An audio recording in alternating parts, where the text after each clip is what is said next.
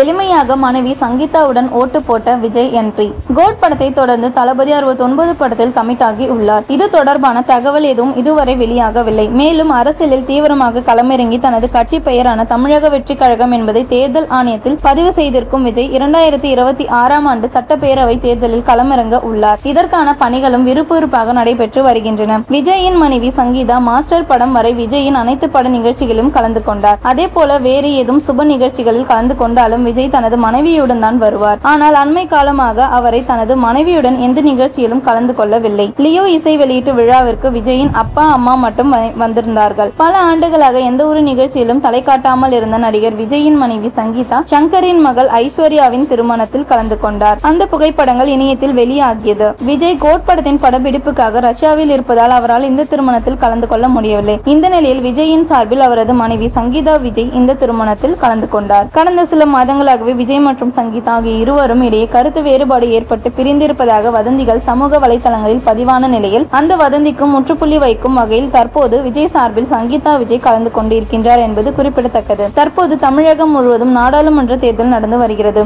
மனைவி சங்கீதாவுடன் விஜய் ஓட்டு போட என்ட்ரி கொடுக்க இருக்கின்றார் என செய்திகள் வெளியாகி வருகின்றன.